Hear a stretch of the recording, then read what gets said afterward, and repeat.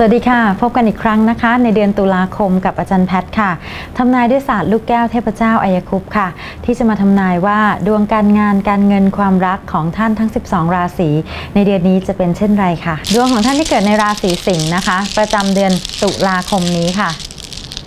อาจารย์เลือกได้ลูกแก้วของเทพซีลอนขึ้นมานะคะ ชาวราศีสิงห์นะคะ ลักษณะงานเนี่ยนะคะ ต้องทำงานที่ค่อนข้างทำเพื่อผู้อื่นซะเยอะนะคะ หรือเป็นลักษณะของการให้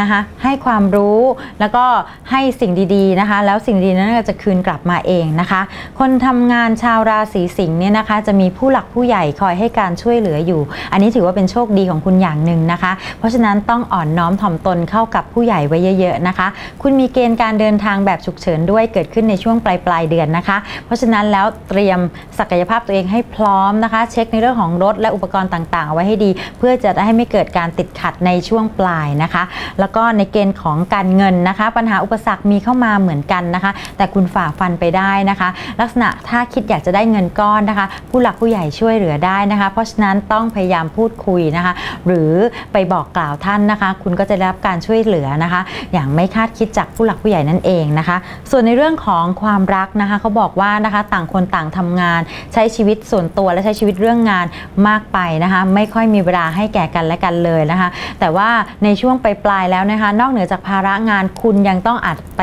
ช่วยเหลือญาติพี่น้องทางฝั่งของคนรักด้วยนะคะจะเป็นลักษณะของผู้หลักผู้ใหญ่พาไปหาหมอหรือพาไปวัดนี่แหละค่ะเกิดขึ้นนะคะสำหรับคนโสดนะคะ ในช่วงเดือนนี้ก็ยังไม่ค่อยเด่นเท่าไหร่ค่ะ ถึงมีคนเข้ามาแต่จะเป็นคนที่เหมาะกับคุณจริง ๆ ต้องคนที่อายุแก่กว่าคุณเป็น 10 ปีนะคะ ถ้ามีกรณีนี้เข้ามาพิจารณาไว้ได้ค่ะ แล้วพบกันใหม่ในเดือนหน้านะคะสำหรับเดือนนี้ สวัสดีค่ะ